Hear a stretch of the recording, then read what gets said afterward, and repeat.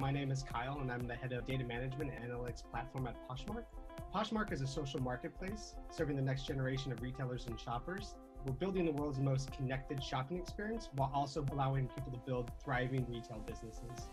Data is everything at Poshmark. There's not a single area where we don't use data to drive decisions. Currently, we serve over 60 million users on our platform. And then, of course, we make about a sale every second. So that means we were capturing a lot of data every single day. And so our team is really on the cusp of making sure we provide that data to all those business partners as well as internally to our analytics team, right? So we have to make sure that the data is readily available and easy to query.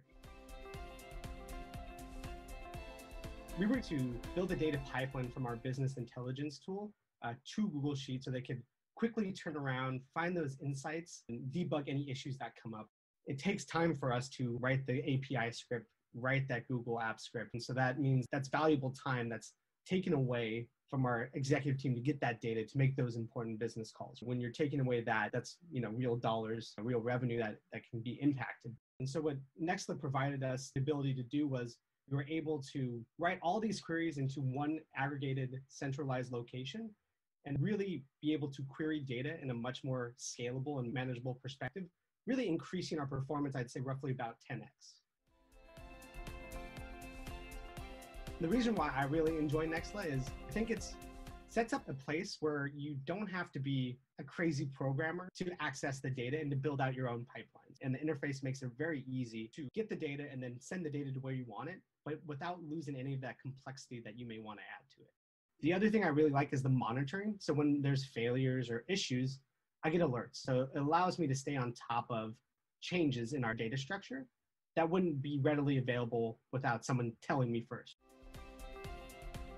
There's a lot of questions our data scientists are curious about, and they always want more and more data. And so, if we're able to give them easy data through a very seamless pipeline, it creates a place where you can foster creativity.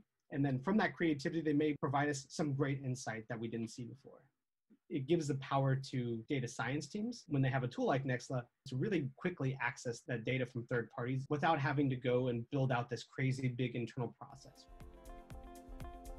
Nexla is great for teams that want to be efficient and provide data to people without having to go to an engineering team that is already super busy and be able to work and iterate really quickly through the problem. It just allows you to have that speed